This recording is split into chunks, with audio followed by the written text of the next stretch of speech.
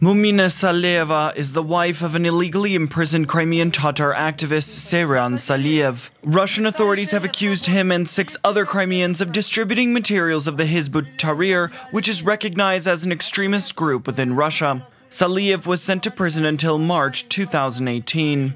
Since her husband's arrest, Mumine has been raising four children alone. Along with this, I'm studying at graduate school. After this family tragedy, I wanted to take a gap year, but my instructors persuaded me not to do it. They said that if I left, I would sink into my problems and it would be difficult to get back on my feet.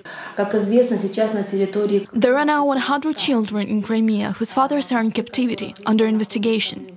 Some of them have been sentenced and are in prison, fortunately. I want to mention that these 100 children are of different nationalities.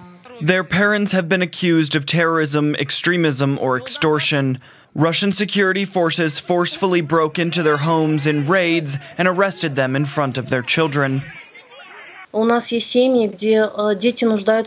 some families, children are in need of medical aid. They have physiological and psychological problems triggered by the searches. Some families need financial assistance. Their current living conditions aren't comfortable for young children or infants. Many women need to look for jobs due to their social and domestic needs. Lawyers and sending packages to prisons are quite expensive. Putting their skills together, the families of political prisoners, teachers, psychologists, and people who work with children started the project called Crimean Childhood. This project is an NGO which is based on the group Crimean Solidarity. Всегда заботился о нас, помогает людям. Добрый, никогда нас не ругал. Кто верит в победу. Он самый заботливый, лучший, честный, смелый. Мы открыты для такого.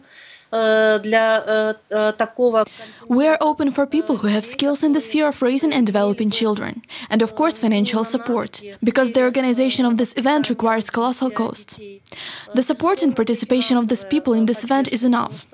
It's enough simply to reach out a helping hand and show that you are in solidarity with this. The founders of the Crimean Childhood NGO are convinced that the project will spread nationwide. They hope that it won't only include children of political prisoners, but will give assistance to all children in need throughout the entire occupied peninsula.